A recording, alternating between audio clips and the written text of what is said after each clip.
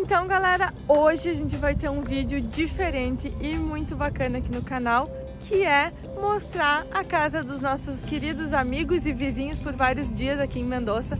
A gente vai mostrar a Cacilda para vocês, que é uma casinha linda. Hoje os nossos amigos também seguem viagem, a gente já tá com o coração assim doído, porque depois de tantos dias, né meu amor? Depois de tantos dias dividindo tantos momentos bons juntos. Verdade, tava comentando com o Bruno agora.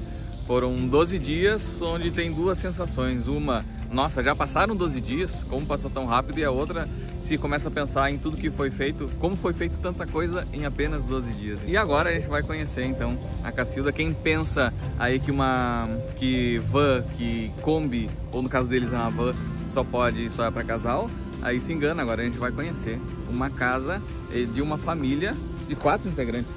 Um detalhe dessa casa aqui é que o Gulliver gostou muito dela. Ele quer ir embora com a gente, olha. Bora, Gulliver. Vamos, nenê. É um fofão mesmo. A gente vai levar se ele. descuidava, ele tava deitado aonde? Aqui, ó, na porta. Na porta. assim. Até que ontem ele entrou, né? Sim, ontem ele me viu entrando, pensou, ah, se ela pode, eu também posso, né? E ó, vupt pra dentro, não, não perdeu um segundo, assim. Olha lá, gente. Ele tá sempre aí deitadinho na sombra desse carro, dessa família que vive nesse momento já entre quatro integrantes. Já entre quatro. Exato. Tem embaraçada aqui, embaraçada. É, tem o B e aí tem um projeto muito legal porque ela hoje está preparada para três integrantes, mas vai ser para quatro. Vai Né? ser transformada em breve. Esse carro ele é, ele é documentado como motor casa, mas ele tá só para três. Então a gente vai fazer uma alteração e mudar o documento junto ao Inmetro para ser quatro Ainda vai um cachorro. A gente tem um cachorro chamado Romeu que está em Goiânia e o plano é depois buscar ele e viajar com a gente, né? É, gente, Tá na casa dos parentes lá. É, imagina, dois filhos e um cachorro dentro de uma van. Muitos já conhecem, né? Mas se alguém ainda não conhecer, eles são a família nômade. Vamos pedir para ele se apresentar um pouquinho, depois se mostra o B lá. Que O B tá fazendo pintando ali, é. de arte lá. Eu sou o Bruno, Eu sou a Clara, esse aqui é o Cauezinho. tá grávida de sete meses. Sete meses já, né? juntamente com o B, que está ali, nosso filho de 7 anos, a gente está na estrada vivenciando uma história diferente entre família. Né? Nós somos três, agora quatro, vivendo no motorhome. É, a história não começou no motorhome, de 2018 para 2019. A gente fez uma transição em que a gente tinha um apartamento em Goiânia, uma vida convencional, claro, estudando psicologia, eu trabalhando como professor de cursinho e tal mas aquela rotina já estava um pouco cansativa, desgastante. E ao conhecer alguns canais de YouTube como Travel and Share, Vivendo o Mundo Afora e outros viajantes, surgiu um desejo de ir para a estrada e viver uma vida diferente, assim, né? É, viver mais, ter experiências, conhecer pessoas, conhecer lugares novos. E nós saímos em 2019 numa barraca de teto em cima da caminhonete, uma Ford Ranger, e moramos por um ano pelo Brasil afora, é, nessa caminhonete, com dificuldade, porque não tinha banheiro, a cozinha era improvisada, mas foi uma experiência muito incrível. E no final de 2019 nós colocamos a barraca num outro carrinho que a gente tinha, que era um Peugeotzinho, e fomos até o Ushuaia. Perrengue, passamos frio, tivemos Show. apoio de viajantes. E ao chegar no Ushuaia, em novembro de 2019, a gente bateu o martelo que a gente voltaria pela Ruta 3 e a gente se desdobraria para conseguir construir um motorhome. E a gente, acho que por lei da atração, por vontade, por desejo, a gente conseguiu. Construímos um primeiro motorhome lá em São Paulo. Logo pelaquela febre motorhome, a gente vendeu e nós construímos esse aqui depois, 2021, um pouquinho maior. É uma Hello Master 2009, extra longa. E desde então, logo que a pandemia foi se tornando um pouco mais tranquila, a gente partiu para a estrada. 2021 a gente ficou seis meses na estrada, Goiás e sul do Brasil. E agora 2022, finalmente, a gente conseguiu pegar nosso motorhome, juntar uma graninha, trabalhar com internet e viemos para Argentina. E aí nós cruzamos aí uma grande parte da Argentina, né, mozão? Estamos aí seguindo aqui por Mendoza e agora vamos regressando para poucos. Buenos Aires, Uruguai e Brasil, para que a gente possa ter o parto do Cauê, um parto talvez domiciliar, lá em Florianópolis. Vai nascer um manezinho da ilha. Um manezinho. E essa é a nossa casinha. Então, eu queria hoje apresentar para vocês aqui no canal do Apreciar Jornada um pouquinho da nossa casa, já que tem pessoas que têm essa vontade de morar numa van. Exato. Muito e bem. aqui tá o B. Ó, o E aí, Bê? chegou. E olha só que presente lindo que o B fez pro Gulliver, Olha, ó. combina. Olha só, Você ele desenhou, desenhou filho? a Olivia Que aqui, linda, ó. cara. Com todos os detalhes, olha só a placa, a cor certinha aqui, ó. De B, de B pro Gulliver. E aqui tem mais um submarino também, do B pro Gulliver, olha só. Caramba, Lindo, a gente vai guardar com muito carinho, B. Ah. E assim, ó, já vamos acompanhando, porque além de viagem, vai ter muito, muita coisa ainda pela frente que essa família tá preparando. Já, ó, família nômade. A Clarinha vem aí com o Cauê, então tem muita coisa legal já, ó. Quem eh, acompanha o nosso canal, tá acostumado a ver sempre, e, e vários outros canais, tá acostumado a ver sempre um casal viajando, né? E essa era uma curiosidade que eu tinha também e já acompanhava eles antes, mas nunca tinha acompanhado assim tão de perto para ver o quão possível é. E eu fiquei muito feliz de ver o quão possível é viajar com uma criança. E eu quero perguntar para vocês como que é essa rotina, como que é para vocês viajar com uma criança e também estando grávida, né? Fazer esse acompanhamento da gestação na estrada. Ó, viajar com uma criança, muita gente fala assim, ai, não dá pra viajar com uma criança porque criança dá trabalho. E, gente, criança não dá trabalho. A questão que eu e o Bruno a gente tem feito com o B desde os dois aninhos na vida dele é incluir o Bernardo na nossa rotina. Claro que a nossa rotina é um pouco diferente de quem viaja só entre casal, porque em muitos passeios a gente acaba ficando um pouco limitado pensando no B. Mas no geral é muito tranquilo. A gente faz trilha, a gente leva o B, a gente sempre se atenta às necessidades do B. A gente tem um horário de aula, então assim, é, é muito importante que a gente tenha uma rotina, mesmo que às vezes pareça que não existe uma rotina né, na viagem, mas existe uma rotina com B, como hora da aula, hora do almoço, hora do café, à noite a gente vai passear. Então ele já sabe como funciona a rotina dentro do carro e a gente vai se adaptando aos poucos, né? No primeiro motorhome o B tinha uma caminha que a gente falou assim, olha, ele vai crescer, vai precisar de uma cama maior. Nesse motorhome a gente já fez uma cama bem maior para ele, para que ele possa ficar mais confortável. Não é difícil viajar com a criança, né, amor? Igual todo mundo pensa. É, muda um pouquinho a rotina porque assim, você não vai numa balada até muito tarde, apesar de que ele nos acompanha em algumas baladinhas, alguns, Sim. alguns barzinhos, restaurantes. É, os casais que, ah, vamos ver uma série na Netflix. A gente não passa por isso, a gente vê desenhos da Disney, a gente vê né, É filmes do. Luca lá. Zeramos Então, os filmes da Netflix infantil, Mas né, são alegrias diferentes, assim, a rotina ela é muito legal, dá um pouco mais de trabalho, né, porque Uhum. ele exige atenção, tem que brincar com ele, tem que dar aula, ele estuda homeschooling, isso a gente pode falar num outro momento, mas ele, ele estuda à distância, ele tem uma rotina diária, mas no geral é, mu é, muito, é muita alegria estar com a criança, a família, a casa é mais movimentada. É, diverte, né? né? Como um Gulliver na, na vida de vocês, é. um É. bebezão. E o mais interessante é porque a gente começa a ver a viagem pelos olhos do B, né? Pelos olhos do Bernardo. Porque uma coisa pra gente que às vezes é muito sofrido ou que não tem tanto sentido, pro Bernardo é uma experiência incrível. E uma delas foi levar ele pra neve, né, amor? Quando a gente foi É em muito 2019 intenso, no Ushuaia, o Bruno falou, foi uma viagem muito sofrida, muito cansativa, mas chegamos até o Ushuaia de barraca.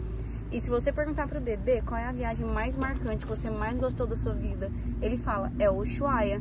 Então a gente aprende a dar valor nas pequenas coisas através do olhar de uma criança e a experiência começa a ser vista pelo B. A gente pensa na viagem, nossa, o que, que será que o B vai aprender com isso? O que, que será que o B vai achar da viagem? Nossa, será que o B vai gostar de esquiar? Então tudo, toda viagem é pensando no que, que ele vai achar e como ele vai se sentir naquele momento. Porque quando ele fala, meu Deus, mãe, eu fiquei muito feliz, eu brinquei o dia inteiro de esquibunda, e isso gera na gente um sentimento de, de gratidão muito grande, porque a gente sabe que é, pra gente, né, como pais, é muito mais importante oferecer experiências do que oferecer bens materiais.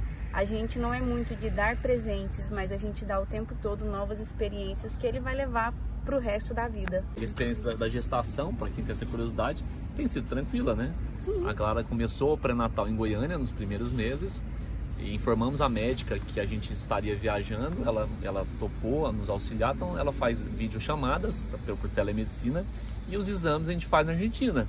A gente fez já duas, duas ultrassons, um em Buenos Aires, outra aqui em Mendoza.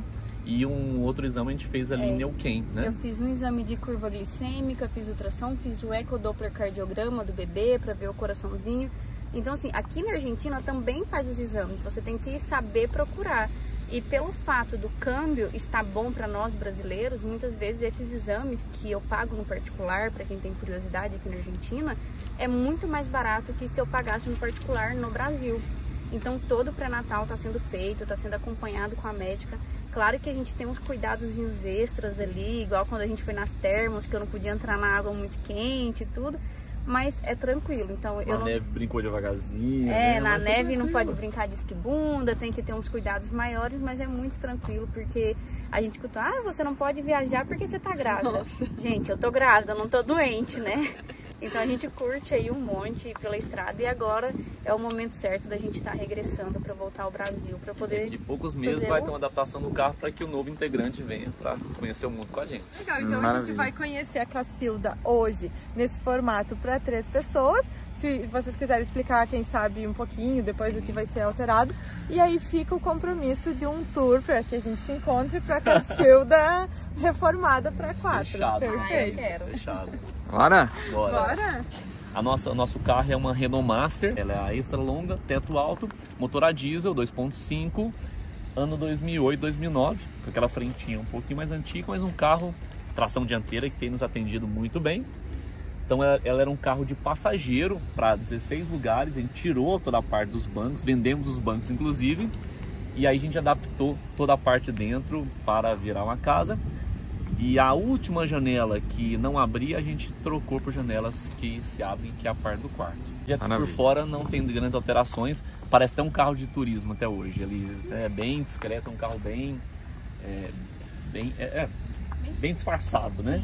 A única coisa que você vê de fora são as placas solares. A gente tem três placas solares de 150 watts em cima, que alimenta a casa com as baterias estacionárias. Mas de resto, a alteração mesmo é por dentro. Quer mostrar, mozão, a nossa casinha? Vai lá.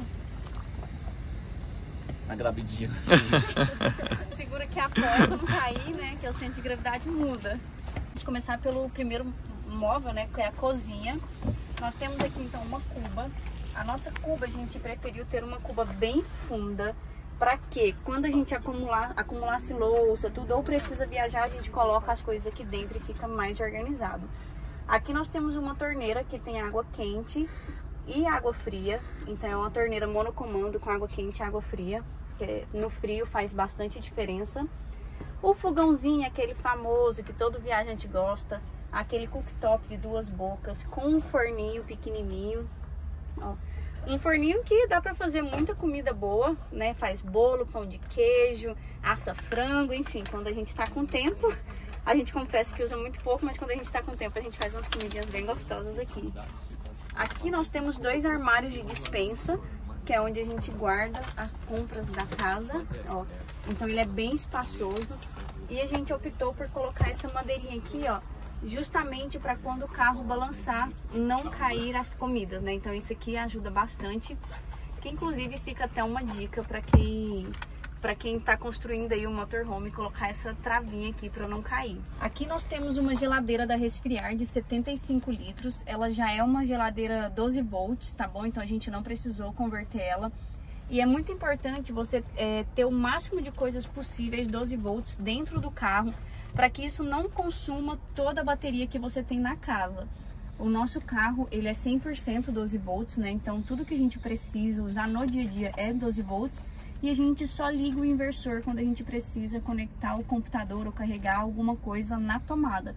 De restante, a casa inteira funciona no sistema de 12 volts. Aqui nós temos um gavetão de panela bem, bem fundo, eu acho que atende a gente bem. Aqui um uma gaveta de talheres, aqui onde a gente guarda nossos pratos, copos, tudo embaixo da pia. Não é a coisa mais bonita de se ver, mas é bem funcional, né? e aqui em cima, uma coisa que faz muita diferença também, que é a clarabóia. Ela é uma clarabóia que tem ventilador e exaustor. Então, quando a gente está cozinhando, a gente abre o exaustor para que toda a fumaça saia da casa e também quando está muito quente a gente tira o calor da casa, tira o cheiro de comida, gordura. Então facilita muito ter uma clarabóia logo acima da cozinha. E essa é a cama do B. Essa é a caminha do B, né? Muita gente pergunta, ah, mas onde o B dorme? O B dorme aqui, aqui é o nosso sofá no dia a dia, mas à noite a gente levanta essa extensão E aí vira uma cama bem Oxi. comprida pro B. Então, a gente tem um sisteminha muito prático que é... Como é que chama isso aqui, amor? Isso é, uma- é um, suporte, é um suporte dobrável, né? Tipo uma mão francesa Mão francesa dobrável. dobrável. Não sei É. exatamente o nome. Aí a gente põe aqui. Temos aqui perto da cama pra gente comer duas mesas. Uma que a gente puxa, ela sai debaixo da cama, então ela vem de cá. Aqui é onde o B tem aula, onde eu trabalho, onde a gente almoça. E tem a mesinha que o mozão mais gosta, que é essa, Essa eu daqui, uso para editar, para trabalhar aí. que o mozão usa pra editar. Ela é um pouquinho maior do que essa, então o mozão gosta de ficar sentadinho aqui assim, ó, trabalhando, editando os vídeos do YouTube. Olha aí. Também tem o mesmo sistema Então, todos os vídeos que o pessoal assiste do Família Nômade e quem tá aqui tá vendo também vai acompanhar o canal agora, é feito nessa mesinha Todos aqui. são editados aí, ou em alguma mesinha de posto de gasolina. do IPF. Quem é viajante sabe que não pode faltar um IPF no caminho, né? Viajante adora achar um IPF, gente. Subir a plaquinha e já brilha o olho. É, aí, e aí, tem internet? Tem internet? A gente é assim. Bom, então aqui a gente tem agora o, um, um segundo e um terceiro espaço da casa, que é um sonho de consumo para quem está na estrada e que é um banheiro. Quando a gente não tinha, a gente sentia muita falta.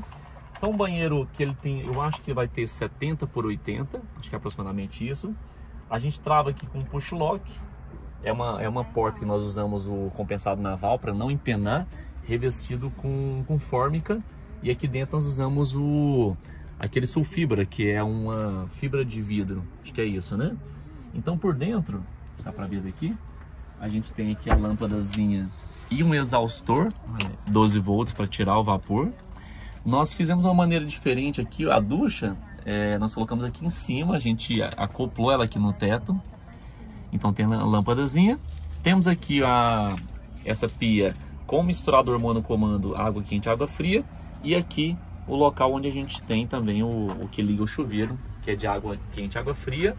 Então a parte do banho. E aqui, deixa eu tentar para mostrar para vocês, a gente tem o porta-pote. Quando a gente vai usar, tomar banho, esse porta-pote fica ali. Quando a gente vai usar o porta-pote, você puxa e utiliza o vaso sanitário aqui. Quem já conhece é um viajantes, né? Ele tem um reservatório de água. Aqui é a, a descarga. E todo o, res- o resíduo depois fica nessa, nessa parte de baixo que a gente desacopla e descarrega em um vaso sanitário comum. Então é um banheirinho bem apertadinho, mas dá. Até o Silvio tomou banho aqui. Poxa, Já olha só, que maravilha Fica um pouquinho aqui. tortinho, mas a gente se, se aperta um pouco. Ah, e, esse, e esse chuveiro vindo de cima aí. Ai, gostoso, né? é- Uma autonomia de 250 litros. Então é bem bacana assim. Temos três ralos para evitar com que a água emposse. E aí chega a parte que a gente exagerou um pouquinho, mas como eu sou grande, uma super cama. Nós tivemos um outro projeto que a cama era pequenininha, então a gente ficava incomodado.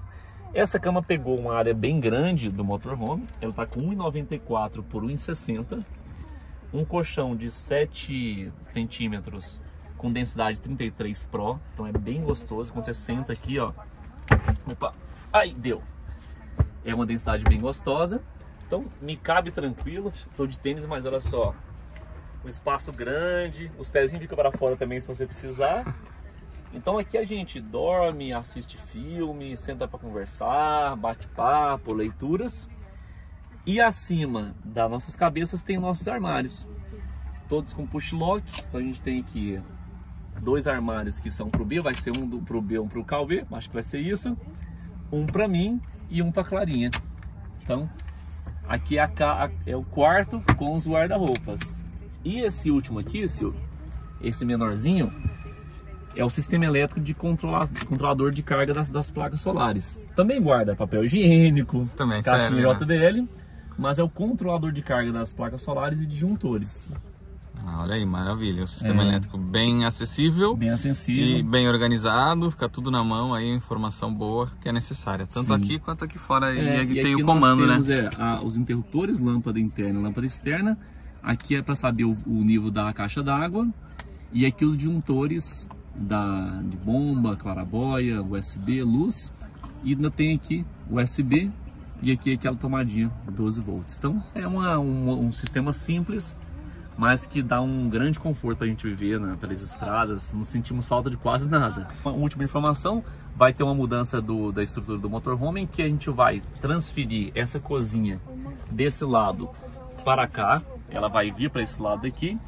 E nesse vão, vamos fazer duas cadeirinhas com a mesinha, onde os meninos vão viajar. Então vai com a cadeirinha para o B, cadeirinha para o Cauê, uma mesinha que a gente vai sentar para alimentar tal. Então vai mudar. A cozinha vem pro lado de cá, desse lado vem a cadeirinha dos meninos e essa parte aqui, é, sai essa poltrona do B e esse espaço vai ficar livre pra gente. Ah, tá certo. E deve ter uma caminha pro B, vai ser adaptada à parte da frente do carro. Então, esse vídeo vai ficando por aqui. Já acompanhe todo mundo aqui, Família Nômade, aprecia a jornada para quem ainda não nos acompanha.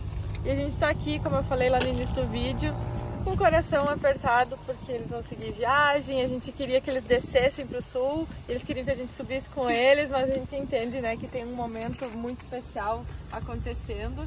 Né? E no próximo encontro já vai ter o Cauê para a gente conhecer. É isso aí então, pessoal. Tchau. Valeu, obrigado pelo tudo. Bora.